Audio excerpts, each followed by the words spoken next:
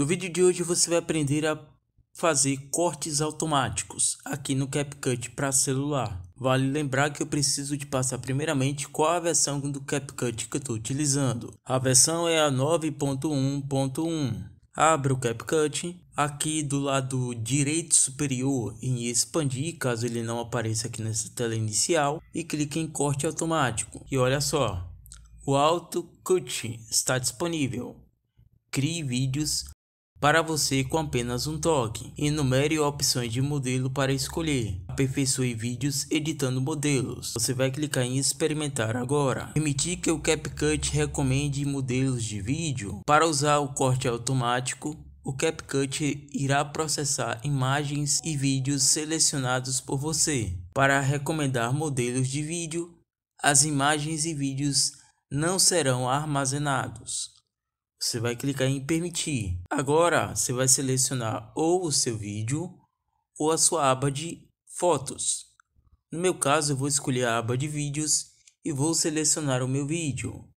Agora eu vou clicar do lado direito inferior em avançar, ele vai analisar esse clipe e ele vai adicionar dessa área. Vídeo já adicionado, eu tenho na aba de cortes, eu tenho aqui algumas opções, o para você, batidas e tipografia. Eu vou selecionar uma opção e basicamente ele vai adicionar. Lembrando que a gente pode clicar na opção editar. Ao clicar na opção editar, ele vem para essa área aqui de edição, no qual a gente pode mudar as imagens aqui.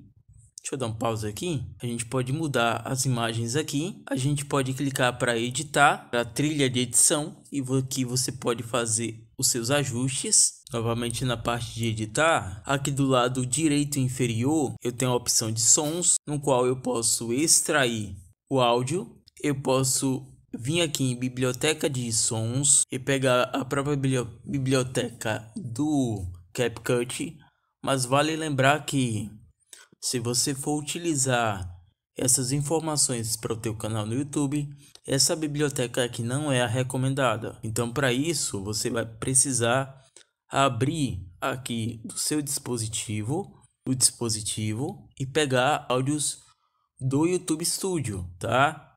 Lá da biblioteca do YouTube Studio. Você pode vir aqui na parte de sons, tem a parte de volume.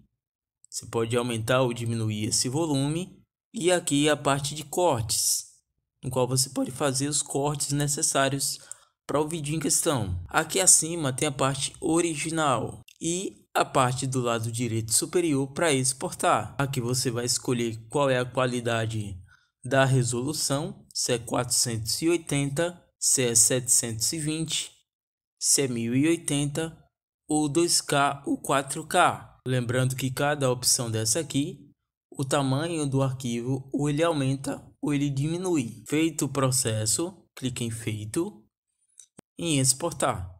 Certo? Bem pessoal, espero que eu tenha te ajudado. Tem dúvidas sobre algo? Use o campo de comentário do vídeo para tirar sua dúvida.